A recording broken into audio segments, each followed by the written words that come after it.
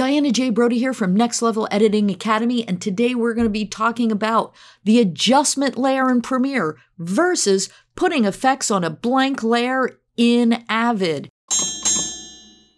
All right, things work differently in both worlds, but yet they're both similar. Very close. Let's start with Premiere. We're going to do an adjustment layer. I'm going to do an adjustment layer for one thing. I'm not going to get into a big tutorial about adjustment layers. There's plenty of those out on YouTube. I may do one uh, at some point in time, but for right now, I just want to show you how you accomplish an adjustment layer in Premiere as opposed to Avid. In Avid, they don't call it an adjustment layer. So let's start with Premiere.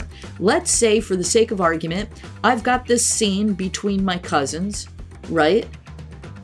This is my this is my cousins pretending to be Seinfeld, and let's say I wanted to uh, I wanted to make all of these clips straight across. I wanted to make them a very specific color. Let's say I want to color this scene. I want to do a Soderbergh thing. You know how Soderbergh always has like Mexico was orange and then across the border was blue. And then you know how he has those. So let's say we wanted to kind of mimic that, right? So let's come over here and we're going to make an adjustment layer. I've got a bin right here. This bin happens to be called graphics and titles.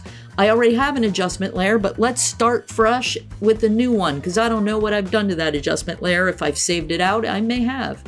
Uh, so there's lots of cool things you can do with an adjustment layer. We're just going to do one thing right now just to show you, just to demonstrate.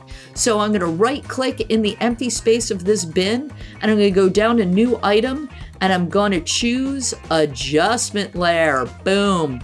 There it is. It's going to come in at the frame rate and the video settings that my project's in, and I'm gonna click OK.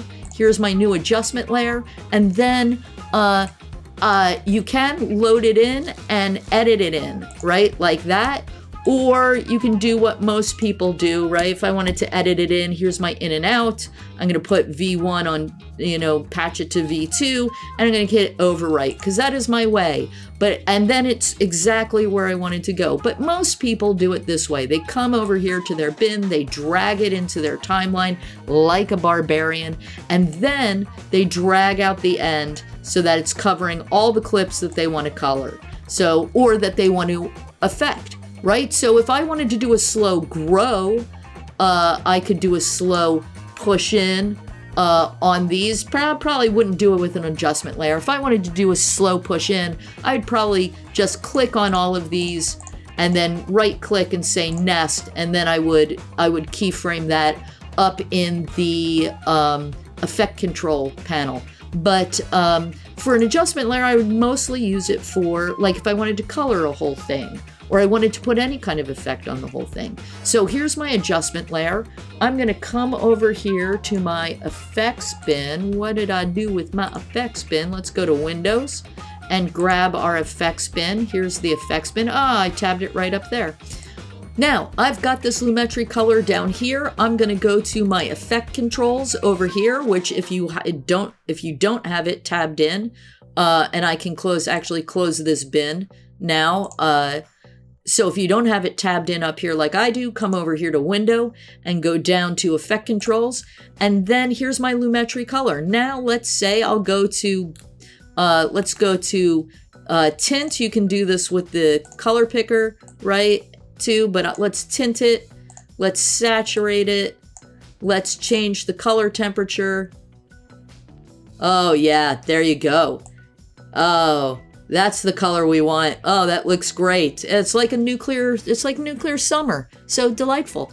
And so now you can see because of this adjustment layer, we have colored all of these three things straight across, right? You can do this with a number of effects. You can actually take the adjustment layer and make it shorter, right?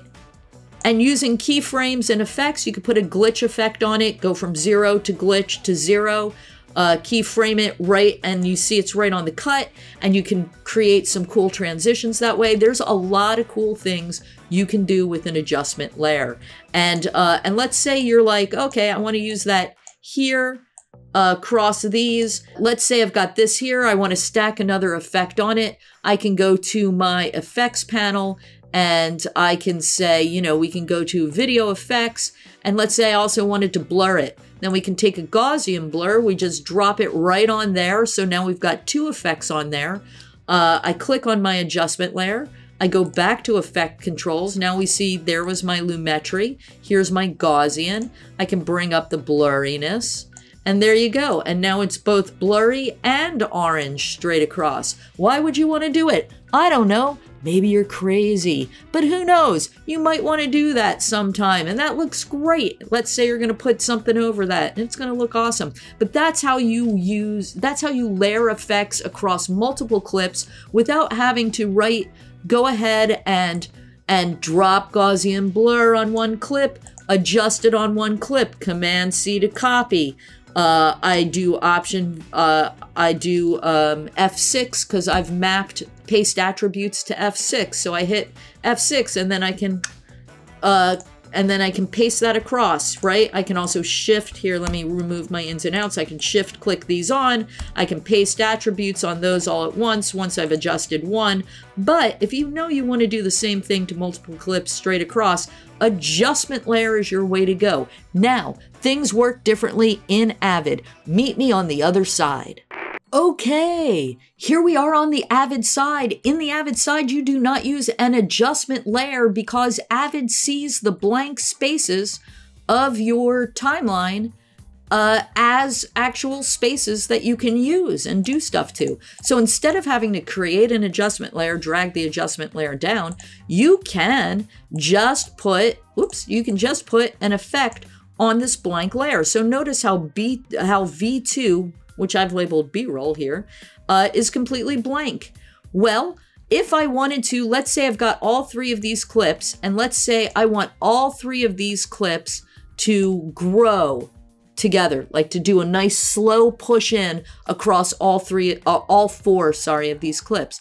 I don't want to have to do uh, three different, four different effects uh, for each one of those, right? In order to make them grow, I want them to grow evenly over time. Keep pushing in, keep pushing in, uh, so that I only want to do one effect and have it affect all of these. Instead of doing an adjustment layer, we're going to come up to tools, go down to our effects palette, and if you remember from the other video, my favorite effect is what? Under blend, it's 3D warp. Let's do it. I'm going to grab 3D warp and watch. I'm going to put it on this blank layer. Notice it says filler right here. It lets you know that it's not on top of any clip whatsoever. It's over top an empty layer. You can just put it there. It then turns into your adjustment layer, right?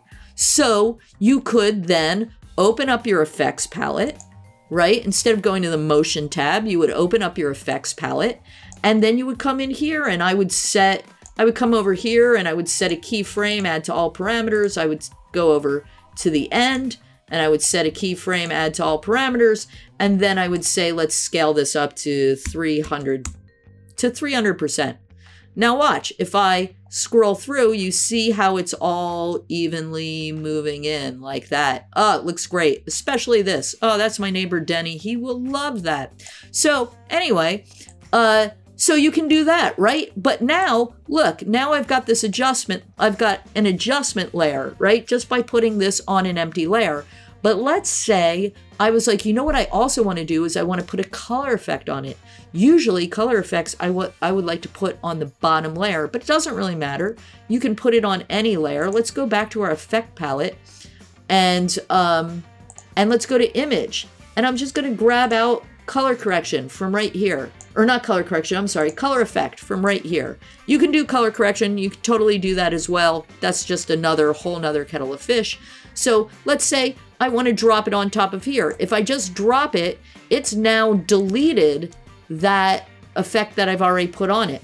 So if I come over here and do color effect and I hold down option or alt, I believe if you're on a PC and drop it, now it retains that, that, uh, that push in, sorry, I was in my effects editor still. Now it retains the push in while still adding this effect on top. And you can keep doing it. You can keep option dropping or alt dropping Keep doing it with any effects that you want to put in it, right? Or put on it rather. But now I'll go into my effect editor and let's go ahead and let's make that hue like that. And we'll take the saturation all the way up. Oh, that's fantastic. Let's posterize that. Uh, you know what? Instead posterize, let's posterize it a little, but then let's solarize it. Oh, that is outstanding. Now look. Oh, yes, that is great. That is everything you want it to be and more. Uh, so that's how you do that, right? Now, if I want to get rid of this effect, let's say we're like, I don't want it.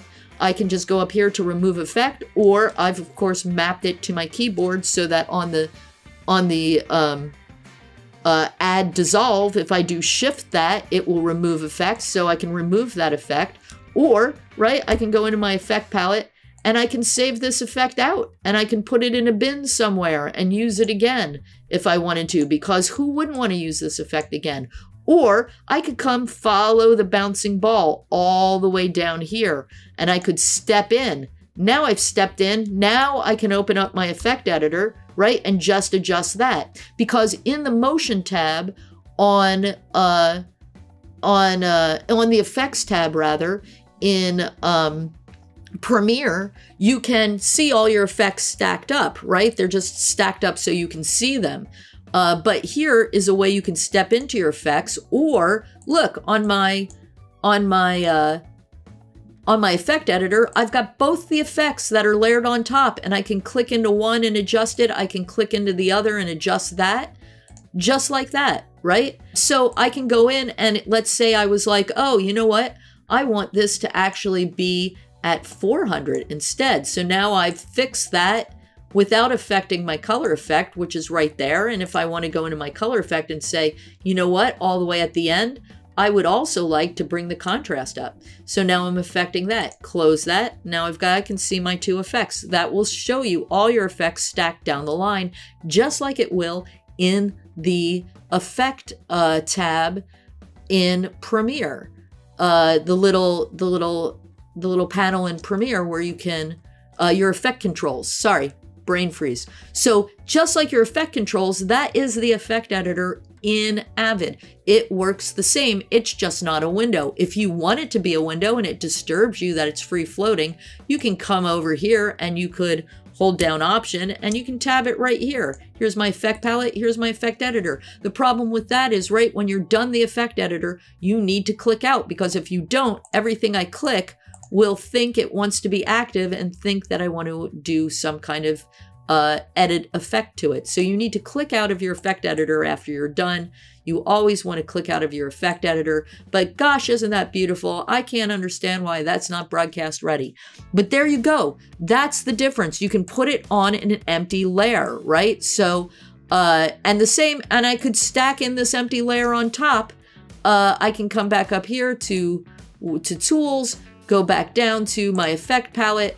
I could come over here and let's say um, let's say I wanted to put um, I wanted to put some kind of you know film effect on there. Want to put a mask? Let's look at our illusion effects.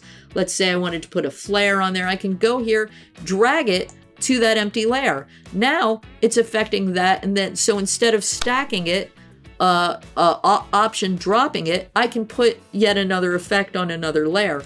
I like to option drop them so that they nest in on the same clip and it frees up my real estate. But you may find there's a reason where you don't want to nest it on top and you want to put it on yet another layer. And you can just keep doing that up and up and up in every blank layer. You can put another effect if you wanted. But that's uh, that's the best way to affect a whole bunch of clips at one time, especially in Avid, where you cannot copy and paste attributes from one clip to the other. You can't do it. It's not possible.